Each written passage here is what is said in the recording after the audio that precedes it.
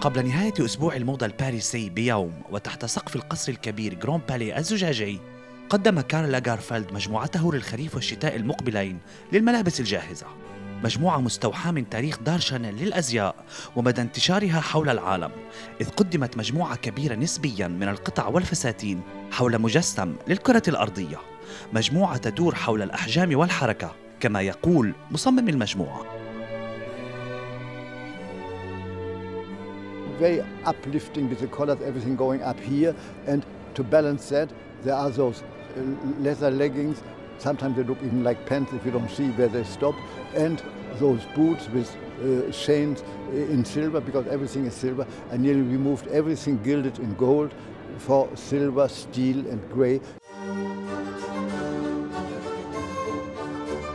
تشكلت أقمشة المجموعة بين الشيفون والحرير والتويد الذي اعتدنا على مشاهدته في عروض شانيل It's important is the effect, whatever it is. Eh? You have to touch it to see what it is, and even then it's not always easy to identify. The, the idea is, you know, to make believe.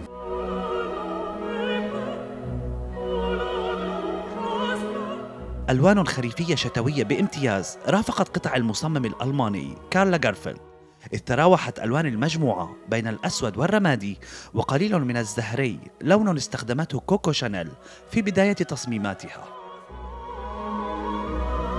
main thing of the collection is from black to gray, uh, colors of shadow and uh, very mysterious uh, shades of gray.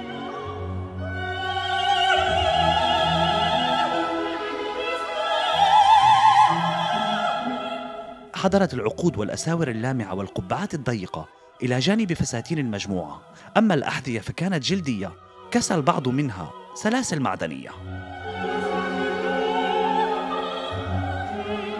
But there was a great tension in the collection between like the rock and roll and the femininity, you know, with the boots and the beautiful, like the very beginning, those incredible jackets.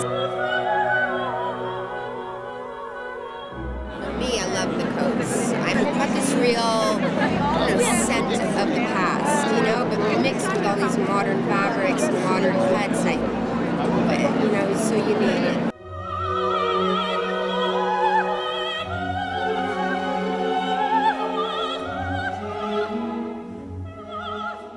Carl and Chanel make magic. For me, it's the perfect mixture of the classic uh, dream with a modern edge.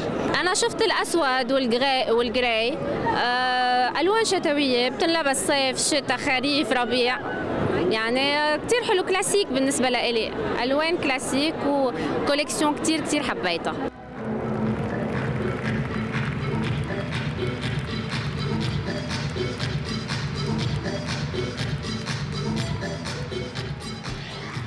إلى جانب عرض مجموعته الخريفية والشتوية للموسم القادم يحرص كارل لاغارفيلد دائما على أن يكون ديكور عرض أزيائه مبهرا لمتابعيه. ليث بزاري تلفزيون دبي باريس.